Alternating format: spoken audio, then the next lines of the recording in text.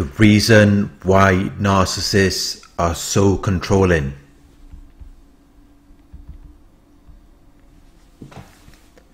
The narcissist feels a compelling need to control you. It is overwhelming for them, but they cannot resist it. They need to have the power to influence and direct your behavior and the course of events. They need to be able to restrict certain activities or tendencies. They need to have the means to limit or regulate something. They need to be able to maintain influence and authority over you.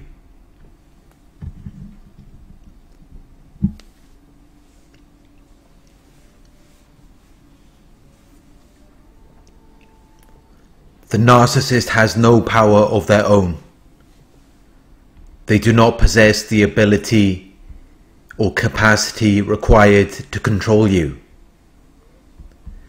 They have to trick you into giving your power to them.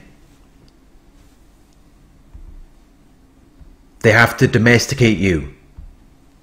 They have to tame you as though you are a pet or a slave. You have to be under their control at all times for them to feel comfortable, for them to feel free from stress or tension.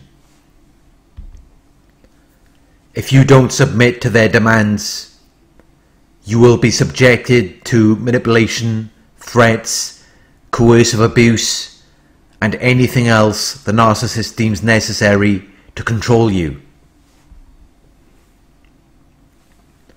The narcissist feels a compelling need to control you because in their minds they do not feel in control. They do not feel as though they have the power to influence and direct your behavior and the course of events. They do not feel as though they have the ability to restrict certain activities or tendencies. They do not feel as though they have the means to limit or regulate something or maintain influence and authority over you. This then makes them feel as though they are not in control. It makes them feel as though they can no longer manage you, as though they no longer have any power over you. This is what then makes them feel this compelling need to control you.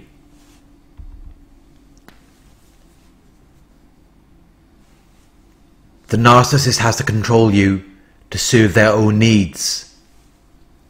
They have to abuse you to serve their own needs. They will then use the situation to lock you in and maintain control over you. They have to dominate you. They have to have power and influence over you. They have to be the most important or clearly visible person. They have to attract notice or attention. They have to be seen. They cannot let you outshine them. They cannot allow you to be viewed as more important or more visible than them, as this then has an effect on their image it has an effect on the general impression that they present to the public, which then affects how they feel about themselves. It affects their self-worth, self-esteem and self-importance, which are all externally regulated through the validation of other people. Which is why they have to control you they have to control how other people see you, and they have to control how you see yourself.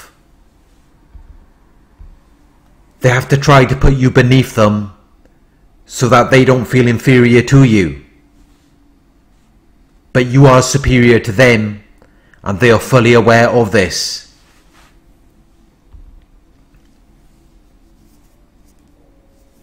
Which is why they have to break you down and target your self-esteem to make you feel as though you are beneath them, which then makes you more controllable. It makes you more capable of being directed or influenced. It improves their ability to manage the general impression of you and of themselves that they present to the public, which then improves their ability to manage how they feel about themselves. It improves their ability to regulate their self worth, self esteem, and self importance.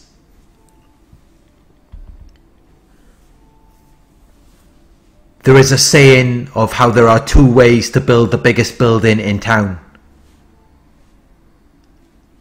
You can either build the biggest building in town, or you can tear down all the other buildings around you. And this is what narcissists do.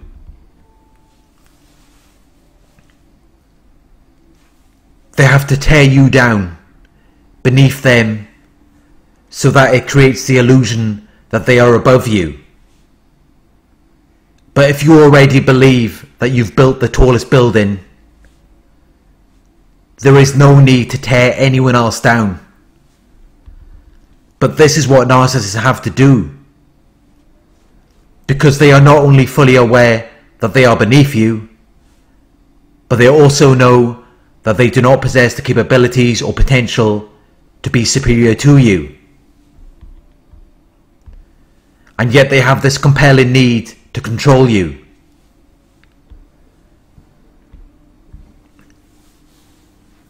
So the only other thing they can do is tear you down and try to put you beneath them. This then prevents you from outshining them and creates the illusion that they are superior to you. But they are not superior to you, and they know this. They know that you are greater than them, and this is why they have to tear you down.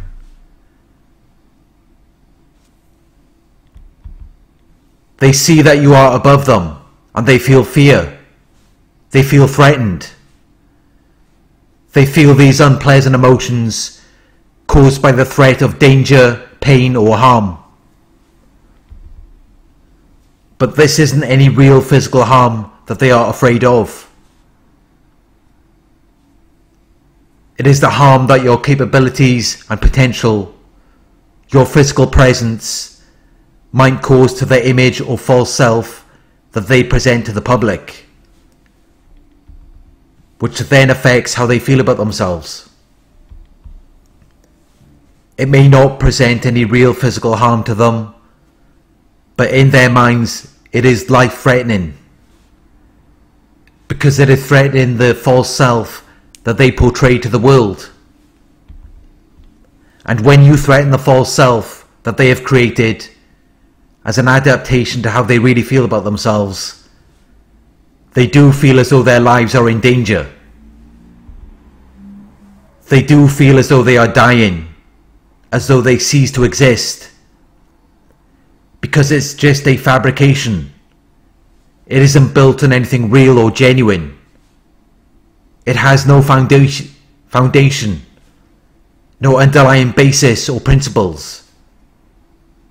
So naturally, if you confront them or try to reason with them, they will crumble, they will fall apart, and they will even try to bring you down with them.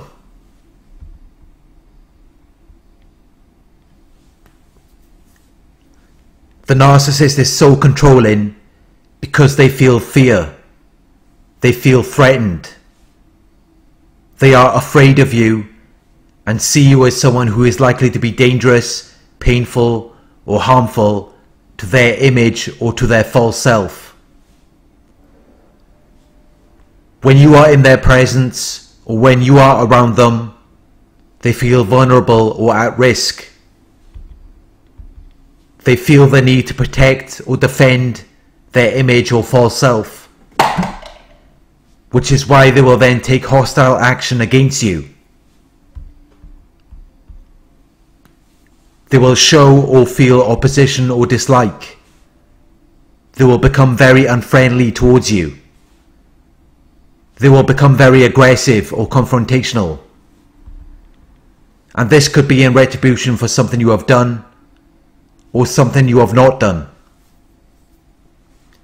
It could be for an action or display that made them feel inferior to you, or it could be for the, the lack of action or display, such as invalidating their image or false self, causing them to feel as though they are not important, or as though they are not of great significance or value. This all poses a serious threat to their image or their false self, and it causes them to become fearful of you. And this is what causes them to feel this compelling need to control you. They want to control the thing that they are fearful of.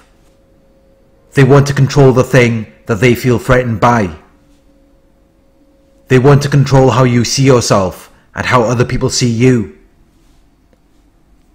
because you pose a seri serious threat to their image or their false self, which then affects how they see themselves.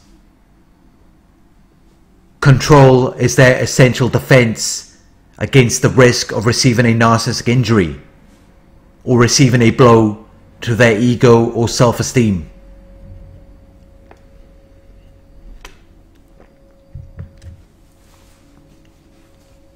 Thank you for watching.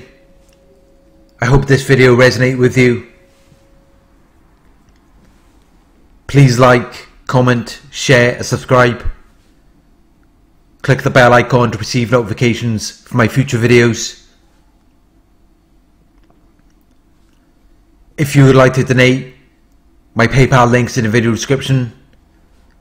Coaching inquiries, you can email me at narcsurvivorcoaching at gmail.com. Thank you for watching and I'll talk to you soon.